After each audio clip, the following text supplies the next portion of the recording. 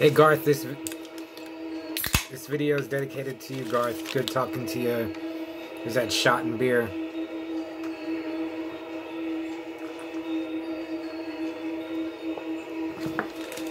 Mmm, lemon, watermelon.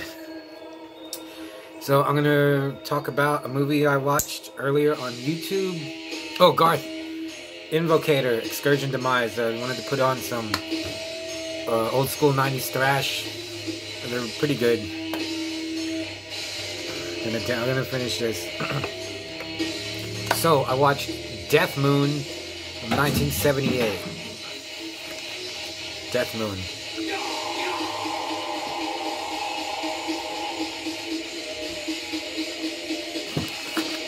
And it's a made-for-TV movie. Um, it's about a guy that goes to Hawaii because his grandfather went there when, I guess during the war, World War II, and the locals put a curse on the grandfather, which went down to his grandson, and he turns into a werewolf. And, uh, it's pretty average, but I don't know. I like I like these old made-for-TV horror movies. Someone commented uh, it's a werewolf movie made for a housewife to watch during the day, and it kind of was.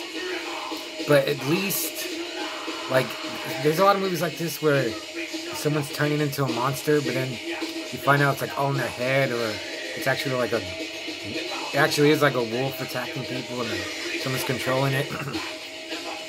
This guy is actually turned into the werewolf, and it looked okay. Kind of really looked like the 1940s Wolfman. Kind of also like the Paul Naschy werewolf, which is cool. Um, it's a TV made for TV movie, so there's no gore. In fact, every time he attacks someone, like he'll, he'll come at the camera and it'll stop. It'll just go to the next scene. I didn't really care. They say like he ripped them apart, so you can imagine, you know, him ripping them apart. Uh, I can't, in good conscience, give it that high of a score, but it was just, just something comforting about these old movies, and I I would watch it again probably if I had a I had to watch it on YouTube. But if I had an actual copy of it, I think I would put it on. It's like a just like have a movie marathon of just like cheesy werewolf movies or just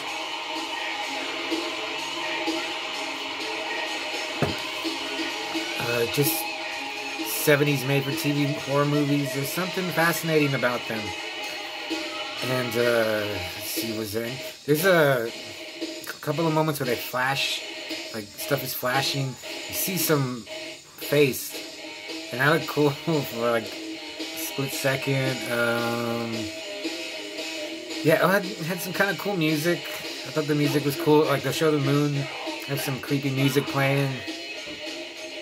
That was good, good atmosphere. That's the best I can. Trying to think of the best things I could say about Death Moon. Cool title, Death Moon. I'll give it two out of five Manos Hands of Fate. also, at least like compared to a lot of movies like cheap movies that come out today. It's it's a movie. It's actually a movie with actors and and uh, filmmakers, uh, costume. I mean, you know, not they don't have costumes, but you know, there's wardrobe and lighting. It's actually really dark on YouTube, but I'm not. It wasn't painful to sit through. It just you just have to be in the mood for something like this, I guess. But uh, Death Moon, yeah, that's about all I can say about it. I have so many movies that I've found on YouTube. Um, I'm gonna watch them. I'm gonna talk about them. So what else can I say? Um, oh yeah, my friend gave me this. Bigfoot. It's just that's why I watched this. Is because uh, he's a hairy monster that runs around and rips people to shreds. So I'll see. I'm gonna take that shot. See, see you, Garth. This one's for you.